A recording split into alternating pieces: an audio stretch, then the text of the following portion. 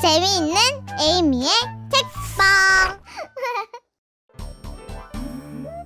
누가 내 머리에 똥 쌌어? 작은 두더지가 하루는 해가 떴나 안 떴나 보려고 땅 위로 고개를 쑥 내밀었어요. 그러자 아주 이상한 일이 일어났답니다. 뭉글뭉글하고 길고 갈색을 띤 어떤 것이 갑자기 두더지의 머리에 철퍼덕 하고 떨어졌어요.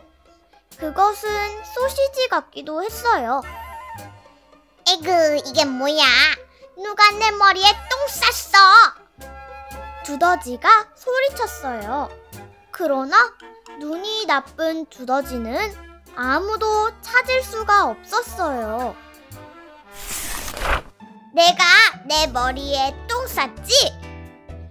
두더지는 막 그곳을 날아가는 비둘기에게 물었어요. 나? 아니야. 내가 왜? 비둘기가 대답했어요. 내 똥은 이렇게 생겼는 걸. 그러자 하얀 물똥이 작은 두더지의 발 앞에 철썩 떨어졌어요. 두더지의 오른쪽 다리가 하얗게 얼룩졌어요. 내가 내 머리에 똥 쌌지? 두더지는 밭에서 풀을 뜯고 있는 말에게 물었어요. 너? 아니야. 내가 왜? 커다란 말이 대답했어요. 내 똥은 이렇게 생겼는걸. 그러자 후당탕 소리를 내며 다섯 개의 크고 굵은 말똥이 작은 두더지 앞으로 떨어졌어요. 마치 까만 사과처럼요. 정말 굉장했어요. 내가 내 머리에 똥 쌌지?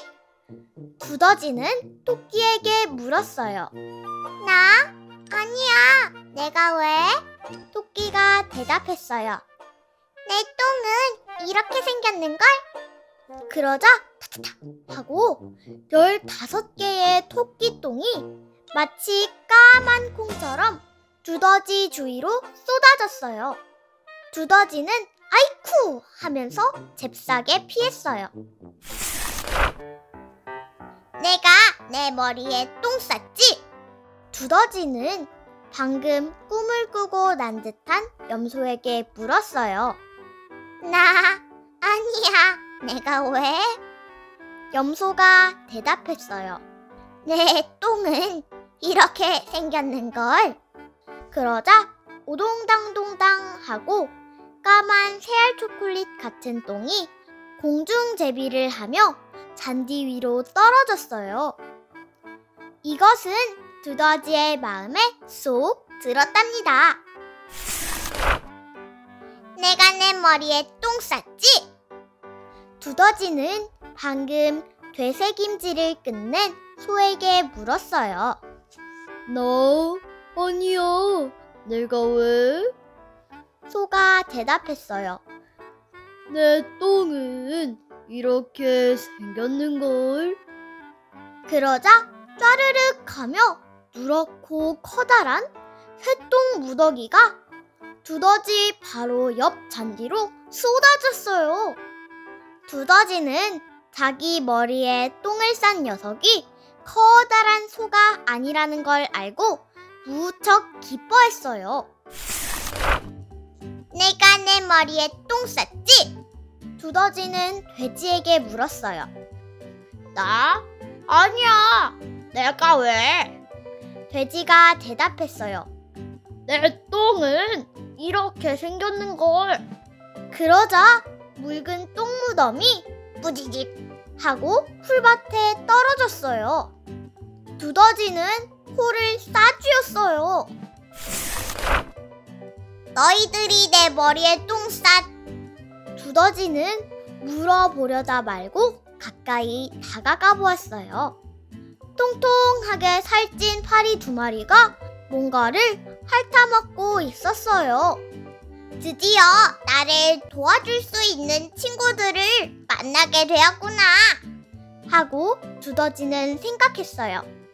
얘들아, 누가 내 머리에 똥을 쌌을까? 두더지가 얼른 물어보았어요. 재촉하지 말고 가만히 있어봐. 파리 두 마리가 윙윙거리며 냄새를 맡았어요. 그러고는 이렇게 말했어요. 아, 이건 바로 개가 한 짓이야. 드디어 작은 두더지는 누가 자기 머리에 똥을 쌌는지 알게 되었어요. 뚱뚱이 한스. 바로 정육점 집 개였어요. 두더지는 뚱뚱이 한스의 집 위로 재빨리 기어 올라갔어요. 잠시 후 작고 까만 곶감 씨 같은 것이 뚱뚱이 한스의 널따란 이마 위로 슝 하고 떨어졌어요.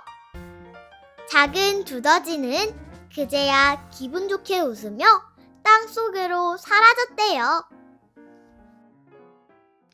에이미의 책방 구독과 좋아요 꼭꼭 눌러주세요.